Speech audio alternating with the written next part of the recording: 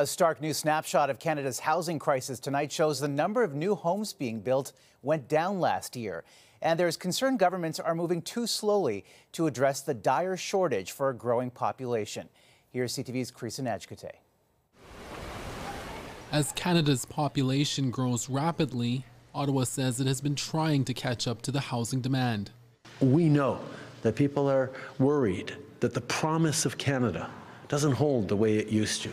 The Prime Minister was in Saint John, New Brunswick today announcing $9.1 million for the construction of 285 homes over the next three years. Housing is considered by your federal government as a right.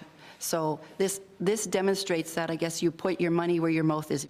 The money is part of Ottawa's $4 billion Housing Accelerator Fund, aimed at helping municipalities change bylaws and regulations to increase construction.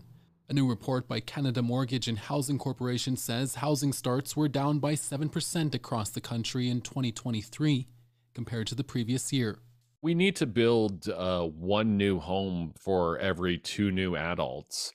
And Canada's a- adding over a million adults uh, this year to our population. So that should be about a half million homes or so that we should be building. And this year, we're not even going to crack 300,000. Only the Greater Toronto Area and Vancouver saw a 5 and 28% increase, mostly driven by new condo units.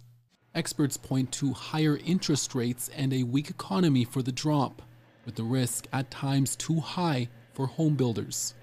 Having them sit there, even for a number of months, is more than many of them can handle.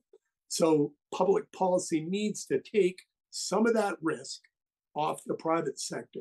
More federal announcements are on the way, but economists say no matter what governments do this year, it still won't be enough to address the country's housing shortage.